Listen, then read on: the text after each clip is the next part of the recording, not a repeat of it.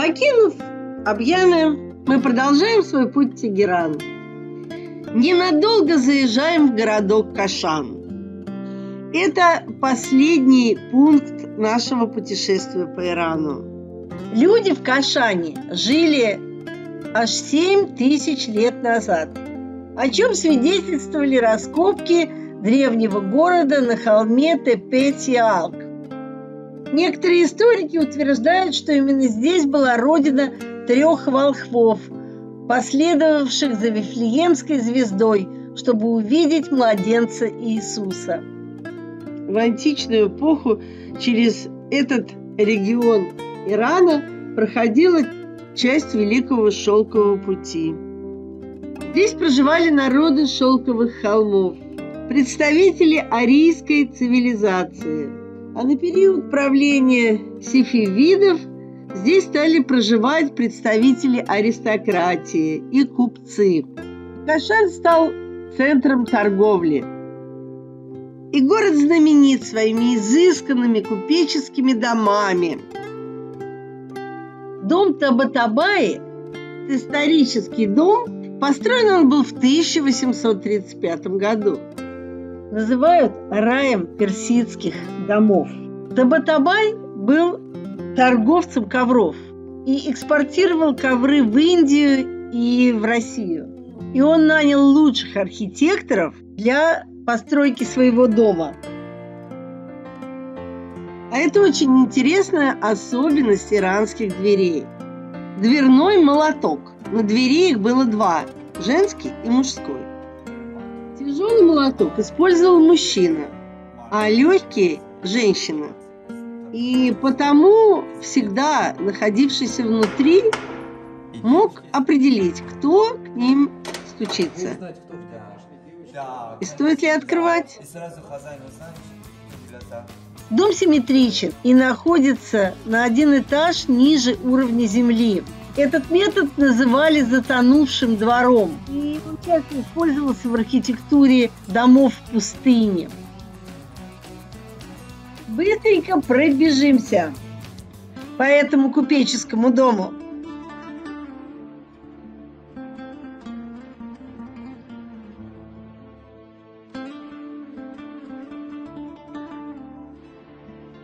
Полюбуемся роскошной отделкой этого купеческого дома. Лепнина и инкрустация. Дом состоит из пяти мелких домов. Дом был построен во время правления династии Каджаров. Его строили почти 10 лет.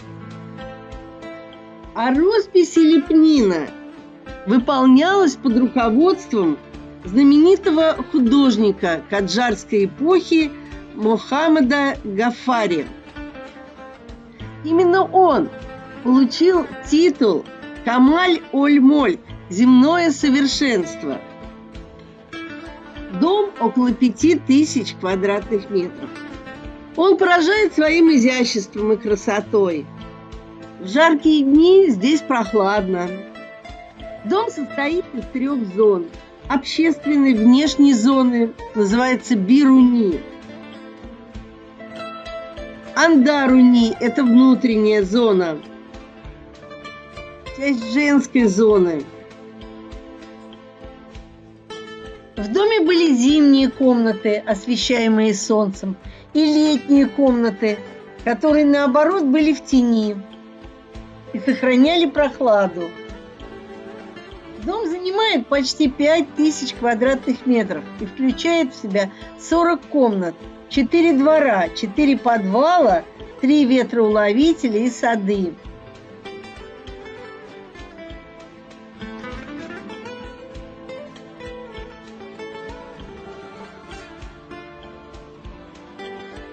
А во внутреннем дворе праздновали Навруз и проводили религиозные церемонии – а на той половине жила мать купца.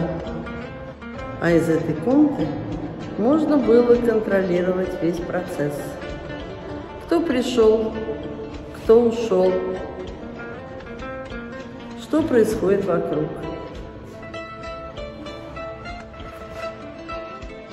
Стены инкрустированы зеркальной мозаикой, заменяющая звездное небо в периоды долгих песчаных бурь.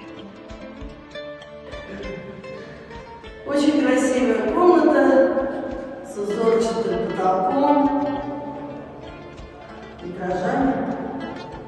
Очень красивый дворец, дом купца. Купцы умели создавать комфорт вокруг себя и красоту. А цветные окна создают удивительное сочетание света и цвета.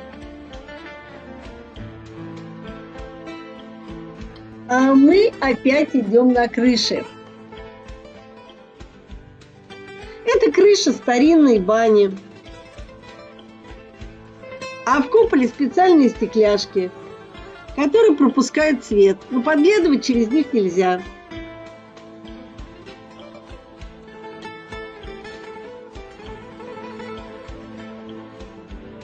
А здесь довольно прикольно.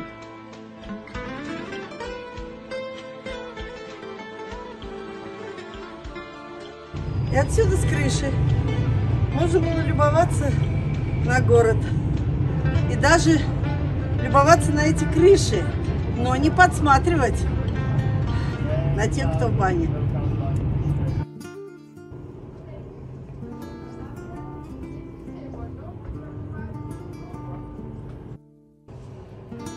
Купальни султана Амира.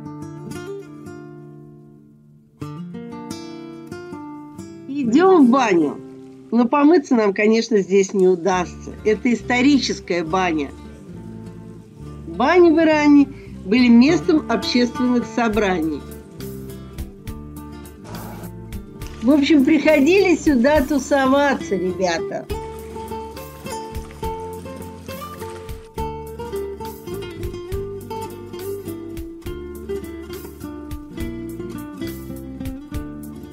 Сейчас едем в сад Фин, одну из главных достопримечательностей Кашана. Сад рождения 1256 года.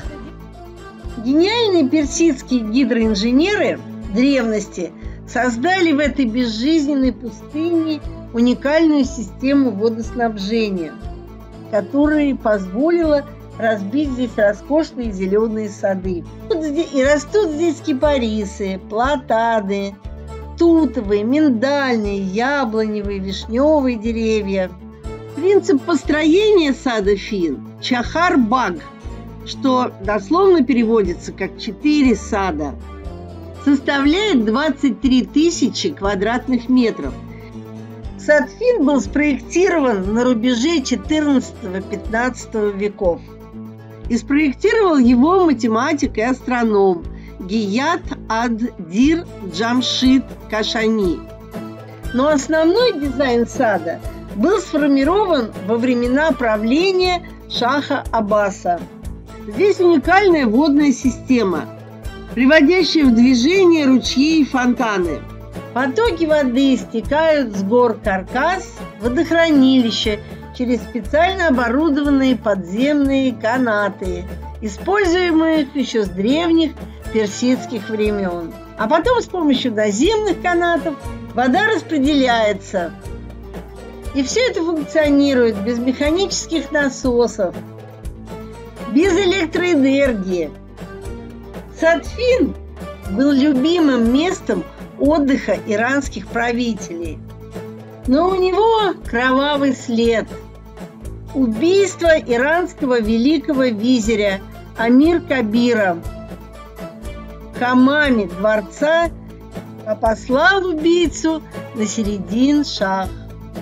И история Амир Кабира имела точки соприкосновения с судьбой писателя и дипломата Александра Грибоедова. А вот здесь делают розовую воду. Вот в этих огромных чарах готовят розовую воду.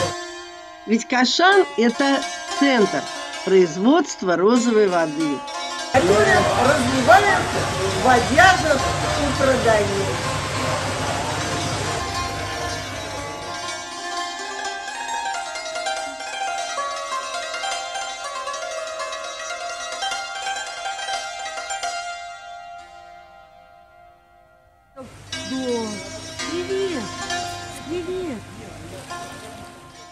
Последний обед в Иране. Вот в таком аутентичном местечке. Это наш водитель. Очень милый человек.